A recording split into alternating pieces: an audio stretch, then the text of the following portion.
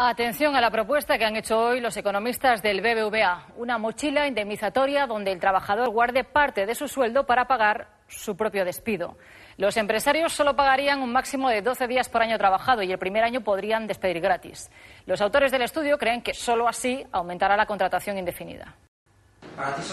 Imagínense ayudar a su jefe a costear su propio despido porque eso es precisamente lo que propone un informe del BBVA que ha sido presentado hoy. El trabajador es despedido, puede utilizar el dinero acumulado en esa cuenta. Si no es despedido, se cambia de trabajo o no quiere eh, utilizarlo, ese dinero se va acumulando. Así el sueldo se le dividiría en un salario corriente como el que se cobra hasta ahora y en uno, atención, en diferido.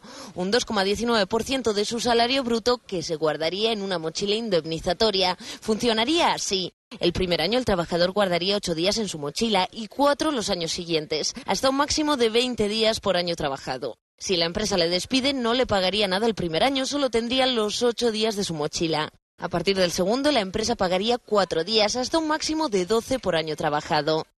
Una propuesta inspirada en el modelo austriaco que genera diferentes opiniones entre los economistas. No es exactamente lo mismo que la seguridad social. Las pensiones las pagamos y bien caras y aquí nos dan indemnización por despido porque las pagamos. Una propuesta que simplemente interesa a la banca privada se quiere hacer pasar como algo que favorece a la generalidad de los trabajadores. La idea de la mochila indemnizatoria tampoco ha gustado ni al Partido Popular ni a la oposición. Es un sistema que en algún país ha funcionado muy bien Creo que en España tiene una dificultad de partida muy grande. ¿no? Lo que debe hacer el BBVA es dejar de tener ideas luminosas que castigan a los trabajadores. Si tiene la suerte de no tener que usar su mochila porque tiene la suerte de no ser despedido, recuperaría el dinero en el momento de su jubilación.